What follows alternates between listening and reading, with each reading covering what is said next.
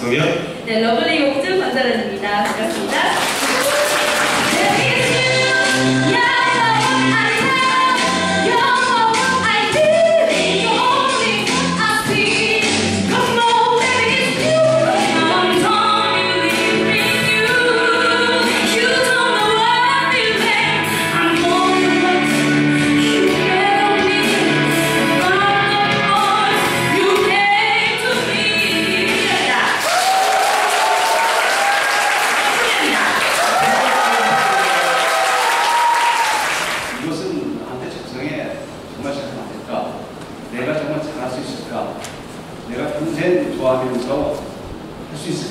이런 것을 진지하게 할머니도 만들고 할아버지도 만들고 원숭이도 만들고 이쁘게도 하고 인간을 그렇게 자유자재로 만드는 사람이 어디 있어요? 우리 직업밖에 없어요. 이 몇 가지를 가지고 굉장히 머릿속 가슴속에 넣어놓으세요.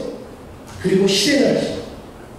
그러면 충분히 성공할 사람이 될 수 있구나. 눈썹이 얼굴에 상당한 영향을 준다는 얘기죠.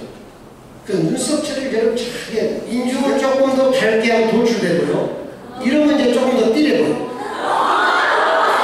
자, 지금 특수한 것도 아니고 그려서만 해가지고도 자 여기는 오른쪽이 되는 거고 여기는 어린아이 다 만들어요.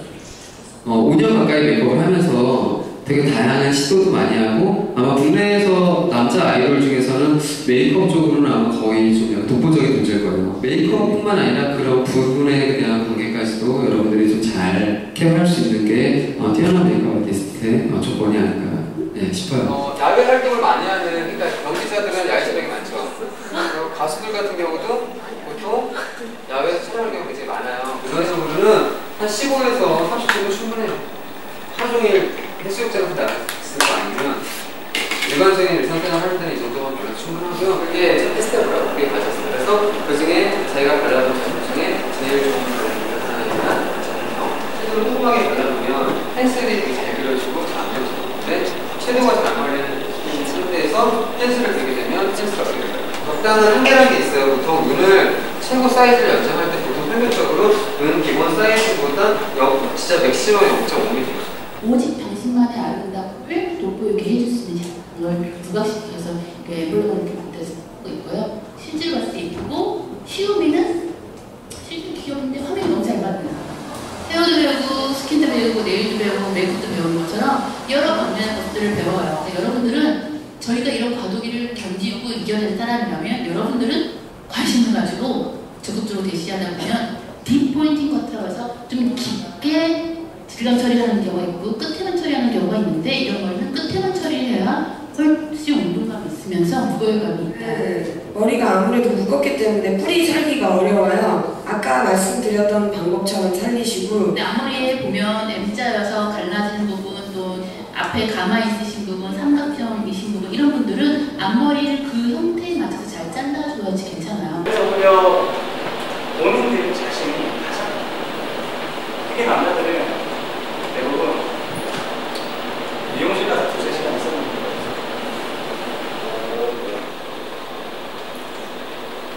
이렇게 해서 실핀만 바꿔주실게요. 그러면 좀 고무줄 없을 때 실핀만 있을 때 간단하게 스타일 바꾸셨어요. 그 하나하나 사진들이 시간이 지나고 지나고 나면 예전 스타일이 다시 돌아와요. 지금 보면 high waist 때 수영복도 약간 그런 거 많잖아요. 예전만 해도 그런 정도 절대 아니었어요. 굉장히 이게 많이 업그레이드가 된 거죠. 사람들을 바라봤을 때 나의 이미지를 만들어주고 내 자신 후게 만들어주는데 어떻게 이 사람이 안 공부할 수 있겠어요? 네. 안녕하세요.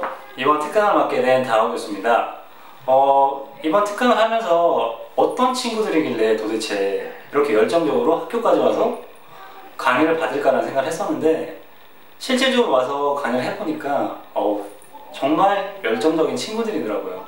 그래서 이 친구들이 나중에 커가면서 굉장히 많은 시간들도 많을 텐데 자기 자신에 대한 자부심이 생기고 내가 할 수 있는 일이라고 생각을 하면 끝까지 밀고 나가 보면 언젠가는 굉장히 멋있는 아티스트가 됐을 것 같아요. 절대 꿈 도중에 포기하지 말고 한 걸음 한 걸음 나가보세요.